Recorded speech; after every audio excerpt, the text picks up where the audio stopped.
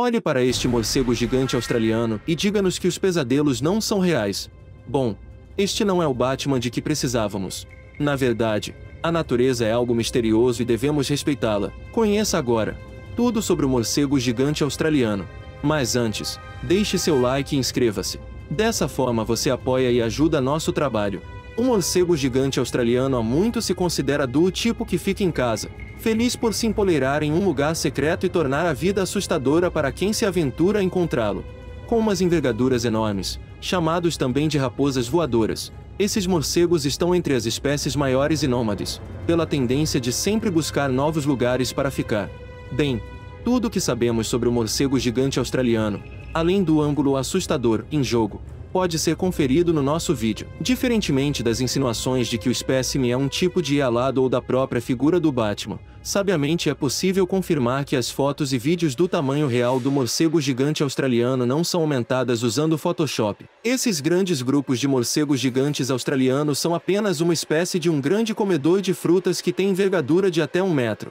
Detalhe, ele não usa ecolocalização para voar à noite, mas tem olhos bem desenvolvidos e um forte olfato, que os ajuda a localizar alimentos. Assim, eles vivem em grupos sociais em árvores chamadas de acampamentos ou colônias.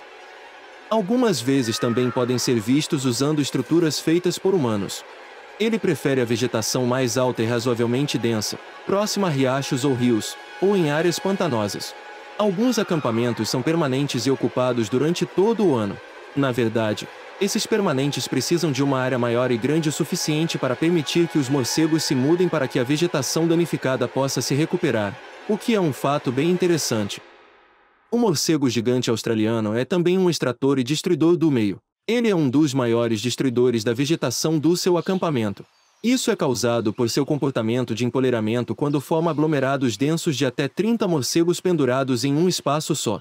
E com isso, acreditem se quiser, mas o peso combinado dos animais frequentemente faz com que os galhos se quebrem. O resultado são áreas de vegetação fragmentada que parecem ter sido danificadas por tempestades.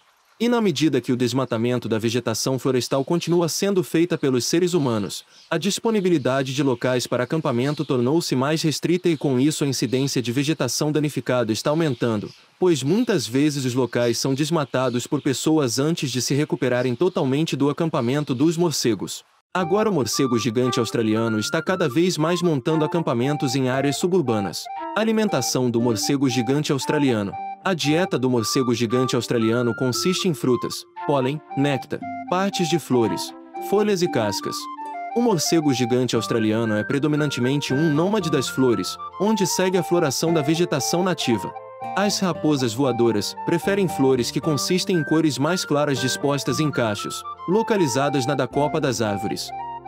Isso inclui as flores da maioria dos eucaliptos, lírios e melaleuca que apresentam essas características.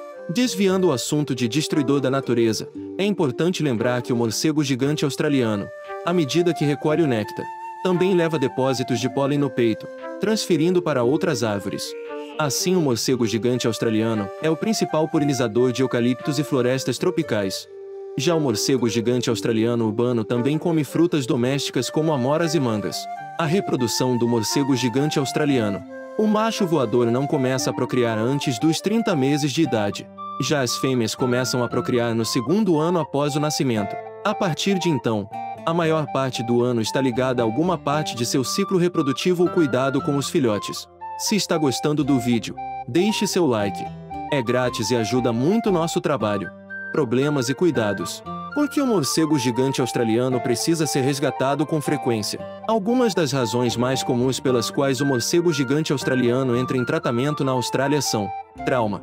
Frequentemente o morcego gigante australiano recebe cuidados após bater em veículos ou voar contra janelas ou prédios. Eles podem sofrer uma variedade de lesões, que vão até hemorragias internas. Condições climáticas extremas. Esse animal é frequentemente encontrado desorientado ou deslocado após sofrer fortes tempestades. Também houve casos em que ondas de calor ou frio extremos resultaram na morte de milhares de animais em campos. Paralisia de carrapatos. O morcego gigante australiano sofre de paralisia do carrapato da mesma maneira que muitos animais domésticos. Se encontrado e tratado precocemente, ele tem uma melhor chance de sobrevivência. Muitos mosquitos, aranhas, e demais insetos são alvo dos morcegos, portanto, é uma forma de conter a proliferação destes.